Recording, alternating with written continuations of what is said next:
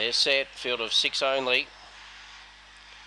Ready, Racing, Betty Baker came out well, showing pace. Last Bale on the inside. Last Bale leads. Betty Baker goes up to second. Third up on the outside was Dynamo Lace. Kicking back on the inside was Tigress 8 and about two or three to Kraken Soupy.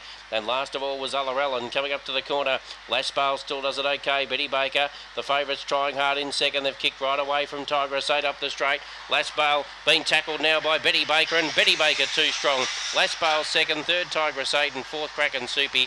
Then came Dynamo Lays and Ullerellen, and the race time is 25.32 for Betty Baker.